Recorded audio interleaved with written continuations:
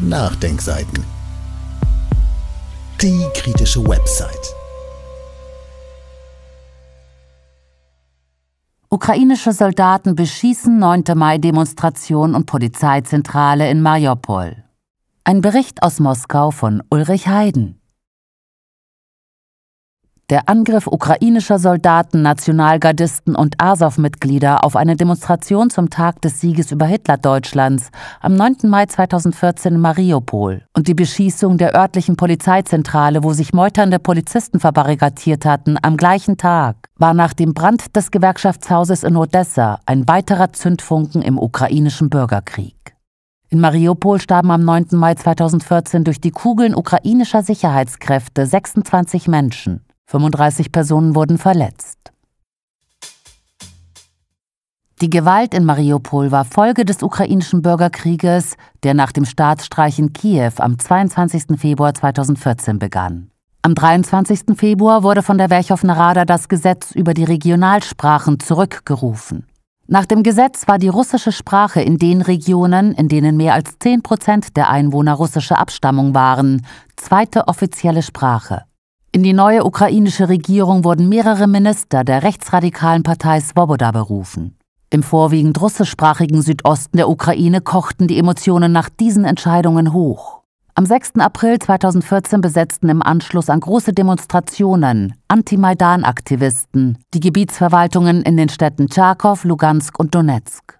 Am 12. April 2014 besuchte der CIA-Direktor John Brennan Kiew. Bei den Beratungen mit der ukrainischen Regierung wurde offenbar der Beschluss gefasst, eine Antiterroroperation in der Südostukraine zu starten. Am Tag darauf gab der geschäftsführende ukrainische Präsident Alexander Turchinov den Beginn einer Antiterroroperation im Südosten der Ukraine bekannt.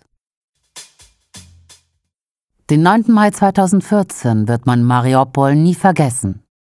Mariupol hatte es schon seit Mitte April 2014 gewalttätige Auseinandersetzungen zwischen Anhängern der am 7. April ausgerufenen Volksrepublik Donetsk und ukrainischen Sicherheitskräften gegeben. Am 13. April besetzten Anhänger der Volksrepublik die Stadtverwaltung von Mariupol. Am 7. Mai eroberten ukrainische Sicherheitskräfte unter Einsatz von Tränengas die besetzte Stadtverwaltung zurück und verhaftete die Besetzer. Die Spannung in der Industriestadt Mariupol stieg von Tag zu Tag. In die Stadt waren ukrainische Militäreinheiten der 72. Brigade, Einheiten der Nationalgarde und des neu gegründeten rechtsradikalen Freiwilligenbataillons Azov eingerückt. Mariupol gehörte zum ukrainischen Verwaltungsgebiet Donetsk.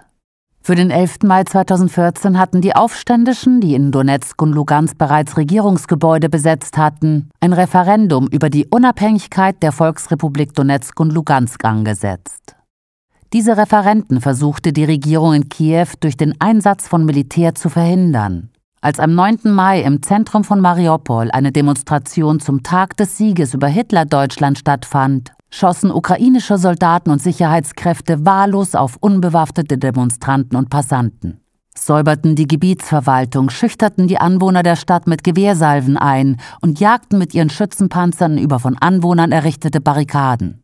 Anwohner versuchten mit nackten Händen ukrainische Schützenpanzer aufzuhalten und Soldaten zum Rückzug zu überreden. Bereits am Morgen des 9. Mai hatten ukrainische Soldaten die Polizeizentrale von Mariupol mit schweren Waffen beschossen. Ukrainisches Militär brach mit gepanzerten Fahrzeugen Breschen in die Polizeizentrale. Das Gebäude geriet in Brand. Polizisten versuchten sich mit einem Sprung aus dem Fenster zu retten. Das offizielle Kiew begründete die Beschießung damit, dass 60 Separatisten die Polizeizentrale angegriffen hätten. Der wahre Grund für den Angriff auf die Polizeizentrale war jedoch, dass die Polizisten sich geweigert hatten, auf die Teilnehmer der Demonstration zum Siegestag zu schießen. Auslöser für die Beschießung der Polizeizentrale von Mariupol war der Hilferuf des städtischen Polizeichefs Valeri Andruschik gewesen. Dieser war am 1. Mai 2014 von der Regierung in Kiew als neuer Polizeichef eingesetzt worden.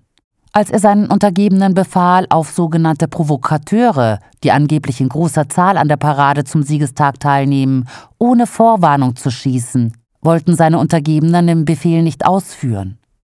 Um sich Respekt zu verschaffen, soll der Polizeichef dann angeblich einen seiner Untergebenen mit einem Schuss aus der Dienstwaffe verletzt und sich danach in seinem Dienstzimmer verbarrikadiert haben.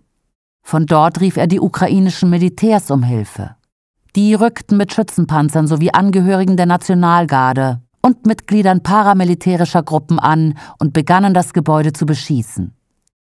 Die Anwohner von Mariupol waren empört. Sie riefen, fasst unsere Polizei nicht an, verschwindet aus unserer Stadt, Faschisten.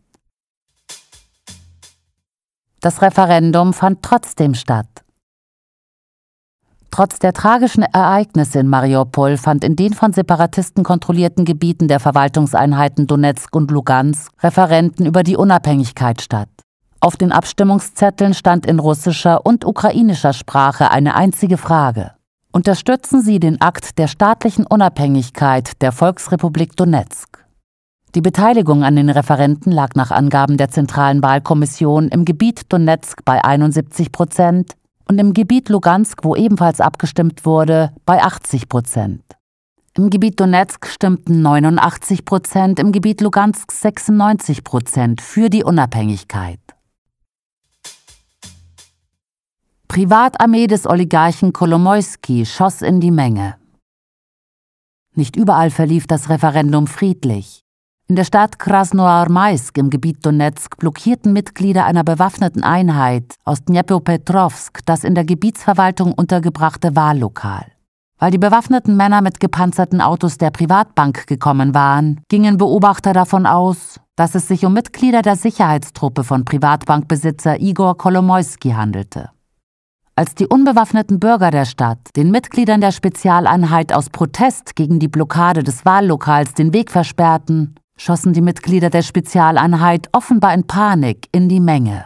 Wie der Korrespondent des westlich orientierten Radios Echo Moskwi per Twitter berichtete, wurde ein unbewaffneter Bürger getötet, mehrere Menschen wurden verletzt. Oligarch Achmetow forderte Einstellung der Militäroperationen. Der damals reichste Mann in der Ukraine, der Oligarch Rinat Achmetow, dem im Donbass zahlreiche große Betriebe gehörten, unter anderem auch die Stahlhütte in Mariupol mit 30.000 Mitarbeitern, rief die Regierung in Kiew Anfang Mai 2014 dazu auf, die Kiewer Militäroperationen im Südosten der Ukraine abzubrechen. Der Oligarch argumentierte, Zitat, Weitere Militäroperationen auf dem Territorium des Donbass führen nur dazu, dass die Mehrheit der Bevölkerung das Vertrauen und die Achtung vor der Macht verliert. Zitat Ende. Oligarch Achmetow gehörte zu den Förderern des gestürzten ukrainischen Präsidenten Viktor Janukowitsch, wechselte aber später ins Lager der Kiewer Staatsstreichregierung. Bis zum Einmarsch der russischen Armeen in die Ukraine versuchte Kiew die Stadt Mariupol zur Hauptstadt des Gebietes Donetsk auszubauen. In der Stadt wurden zahlreiche Militäreinheiten mit schwerer Bewaffnung stationiert. Als die russische Armee Mariupol Ende Februar 2022 angriff, verbarrikadierten sich ukrainische Militäreinheiten und Azov-Mitglieder nach russischen Angaben vorwiegend in Krankenhäusern, Schulen und Wohnhäusern. Das war offenbar einer der Gründe, warum ein großer Teil der Stadt bei den Kämpfen Anfang 2022 zerstört wurde. In den letzten zwei Jahren wurden zahlreiche Gebäude wieder instand gesetzt. Mariupol trägt noch die Zeichen des Krieges. In der Stadt ist es aber nach Berichten von Augenzeugen ruhiger als in Donetsk und Lugansk. Unser Buchtipp Ulrich Heiden Der längste Krieg in Europa seit 1945 Augenzeugenberichte aus dem Donbass. Erschienen bei Tradition in Hamburg im Jahr 2022 Quellenangaben und weiterführende Verlinkungen finden Sie auf www.nachdenkseiten.de oder im Beschreibungstext unter dem YouTube-Podcast. Dieses Audio konnte nur entstehen, weil zahlreiche Leser und Leserinnen die Nachdenkseiten fördern und durch Spenden unterstützen. Wenn Sie auch etwas tun wollen, klicken Sie einfach den entsprechenden Button auf unserer Website an. Übrigens, Sie können uns auch bei iTunes, SoundCloud und YouTube hören und wenn Sie mögen, gerne unseren Kanal abonnieren und eine positive Bewertung für uns abgeben. Wir freuen uns über Ihre Unterstützung und die Weiterverbreitung unserer Inhalte.